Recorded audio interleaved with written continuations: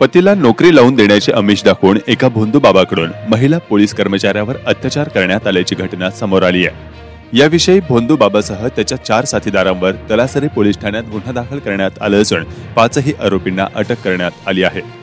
महिला पोलीस कर्मचारी यांच्या पतीला नोकरी लावून देण्याचे आमिष दाखवून एका भोंदू बाबानं महिलेकडून पूजेच्या नावाने पैसे लाटत पूजा विधीच्या नावानं महिलेवर वेळोवेळी अत्याचार केल्याचा आरोप महिलेकडून करण्यात येतोय.